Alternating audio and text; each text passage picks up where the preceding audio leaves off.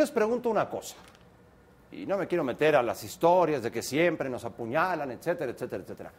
¿Condiciona la eliminatoria el penal no marcado a Rechea en la primera parte? Desde mi punto de vista le hubiera cambiado el rumbo al partido, por supuesto. Sí, sí.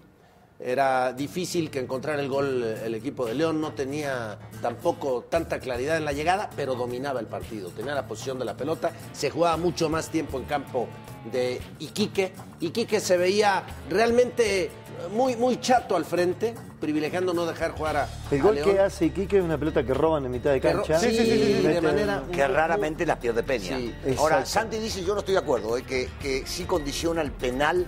La eliminatoria. El penal fue en el minuto 40 y el gol fue en el 47. O sea, no hubo tanta diferencia y estaba ganando de cualquier manera León.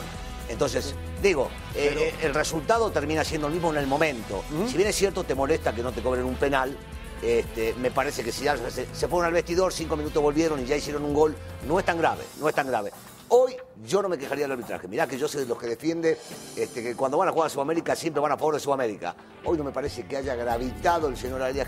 Sí, pequeñas cositas, alguna faltita. Yo me parece que haya marcado Yo creo que deja de ser pequeña cuando hablas de eh, la sanción más, más factible de convertirse en gol, Que es un penalti. que es un penalti. Sí. O sea, a mí tú me dices, le pegó una patada y le volvió a pegar una patada y la agarró por la... Era expulsión. Sí, Santi. Sí, eso puede condicionar, pero en menor grado que el cobro de un penal. Para bien. mí, ah, digo, No, no, no. Para, ahí no puedo poner de acuerdo en la sanción si es, si es o no penal. Lo que digo es, si te hacen un penal al minuto 40 y no te lo cobran, y siete minutos después seguís ganando 1-0, vas a hacer un gol y vas 1-0, el trámite del partido no lo cambió el árbitro.